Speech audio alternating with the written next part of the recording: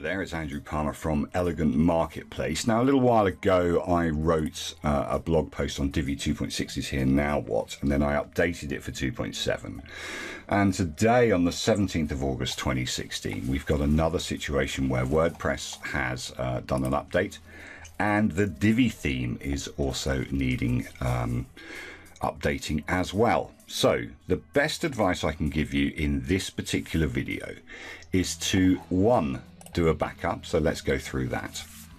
I use all-in-one uh, migration, uh, which is a great way to back up. And I'm just going to export everything to a file. So that's going to go through the export and through the wonder of video editing, uh, this will be very, very quick.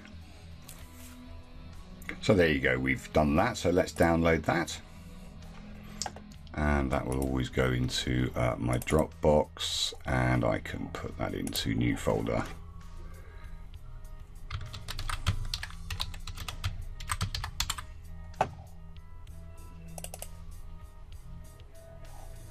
And I'll just save that down. So that's now saved and I can get on updating my website. So the first thing that I want to do is I want to go straight to here and see what my updates are. And I can see that I've got an updated version of WordPress. Now, the methodology that I use is I always update the themes. And there's no reason why I can't update all of them at the same time. I always keep a, a version of uh, WordPress on there just in case I need to check that Divi's broken or whether it's actually WordPress that's broken.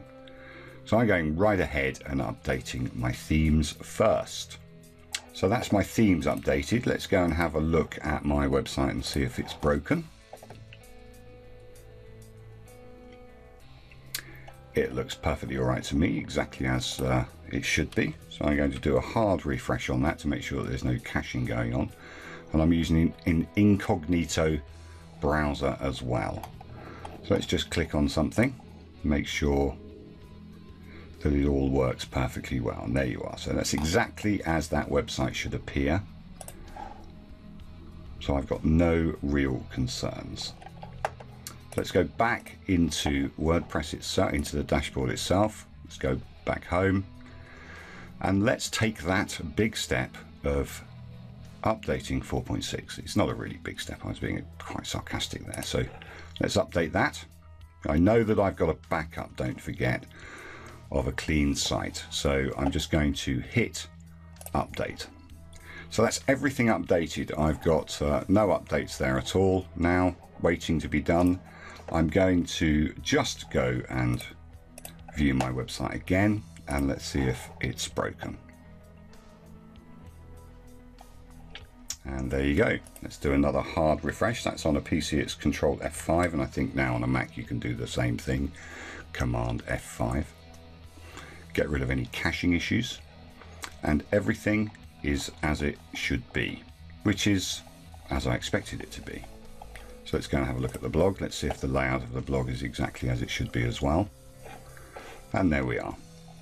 So that is how you back up your website. It's how you update your plugins and themes. And it's how you update WordPress. Follow this uh, methodology and you won't go far wrong. And especially you will be uh, pleased to know that you've got a backup of your original site as well. You saw that it took a few moments. That's all it is. So stay calm and just update at will. Thanks for listening and I'll speak to you soon.